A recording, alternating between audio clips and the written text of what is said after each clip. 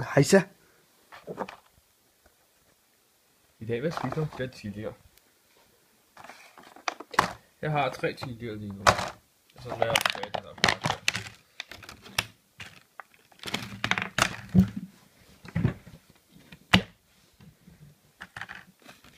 Det er så kun nogle... Øh, ja, niveau 3 chilier, eller hvad man kan kalde det.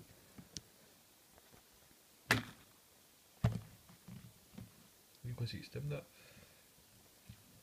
Og min forrige video har der filmet, der har spist... Øh, ikke lige den der, men en anden øh, syver. Og så lige den der, 8 der. Og så har man neon 10'er. Og så Revit er også en meget kendt chili. Det er frisk nogen også. Det var sådan en anden syver, der har spist. Også lidt kendt, kan bare ikke huske, hvad den hed. Nu har jeg spist en helt normal træer. Det er kedeligt, men der er ikke andet tilbage, eller det stadig lavet en video. Og første gang jeg spiste rå chili var faktisk også en træer. Det var så lige den røde version, og ikke gul og grøn, som den har lige nu. Og det var virkelig slemt dengang. Men nu regner jeg med, at det ikke rigtig er noget vildt hårdt noget for mig. Nå, der tror jeg, der viser den her. Jeg starter med den store, flotte gule. Øh, Sådan der.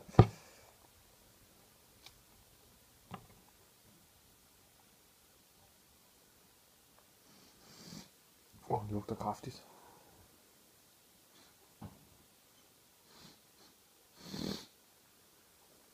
Meget blød. Ja. Den lugter lidt kraftig, Meget blød og elastisk. Og meget hul.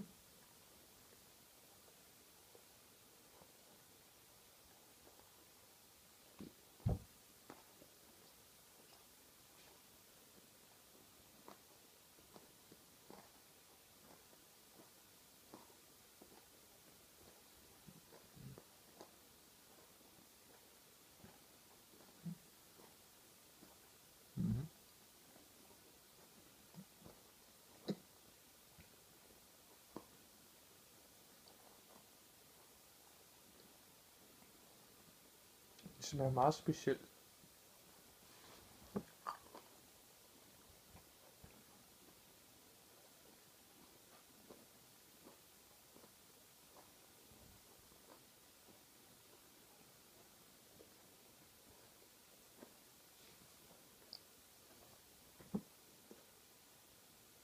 Det er ikke den bedste chili, der smager, men det smager ret godt alligevel.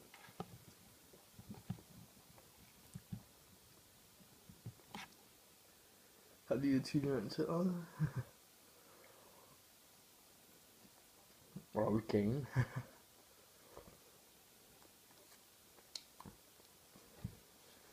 Den lugter meget gul peber.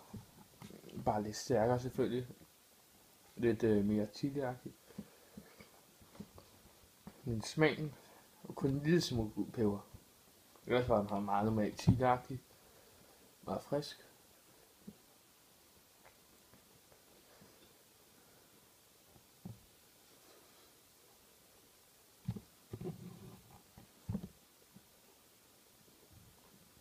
Det, så, det var stærkere end jeg Det Ret stærk alligevel. Det var meget frisk, så det, det var lige på det stærkeste, tror jeg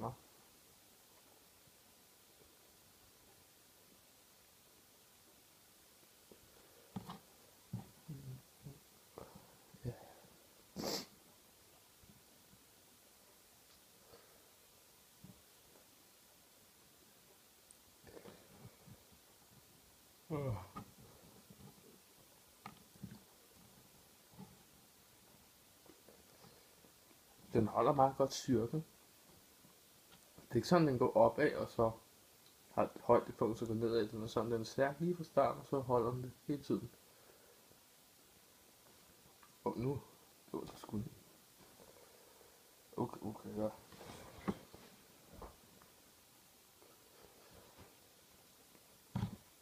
Min tårer løber lidt. Så er det mærkeligt. Det gør de ikke ved... Øh, øh, se... Øh. Ah, jo.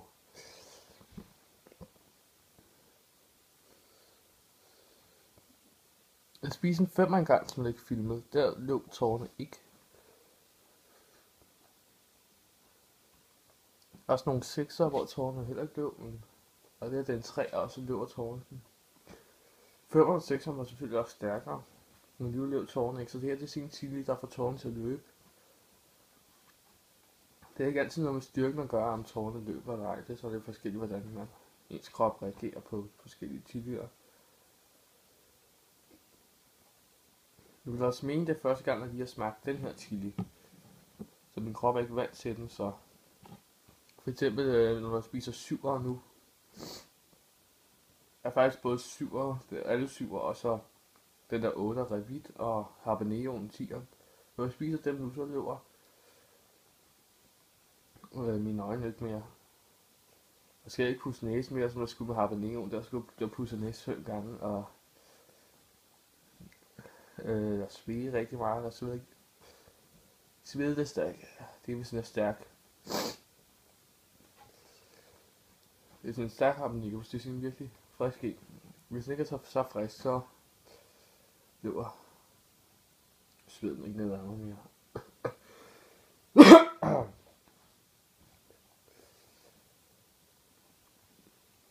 Ja, nu er den sådan lidt, nu er den sådan væk.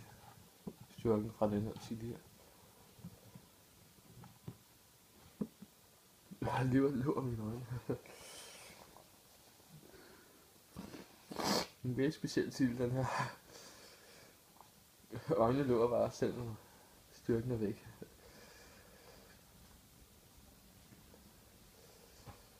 Ja.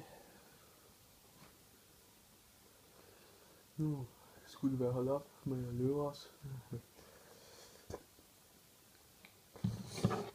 Så er lige de her to tilbage nu. Den får jeg lavet lidt mad med. Jeg skal lave et par chiliretter her. Inden jul, måske. Nogle kort stykke tid er der et par chiliretter, der skal lave, så jeg skal lige bruge til hver.